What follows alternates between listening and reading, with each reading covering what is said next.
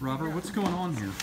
Well, what we're doing here is signing Willa of the Wood books for the big launch. So we're having a launch party on July 8th at the, boy, it's hard to talk and sign at the same time.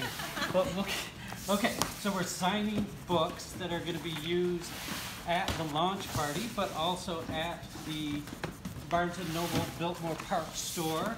And we're going to be signing some books for the big Willa event that we had at the Masonic Temple a few months ago. So this is just what you do when you launch a book. All right, everybody, smile. And I've got my full crew here.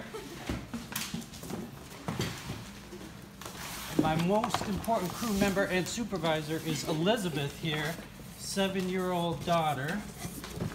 And then we have Camille over here, 18-year-old daughter. Lots of experience doing this for the last few years. And then my wife Jennifer here.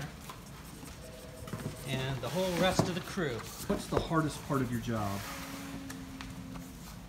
Closing the book. What's the funnest thing about your job? Sliding.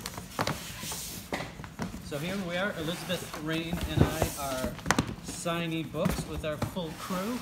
So we have about eight people here, but little Elizabeth has the biggest, most important role. So how many books are we going to sign, you think? I don't know. Maybe a thousand?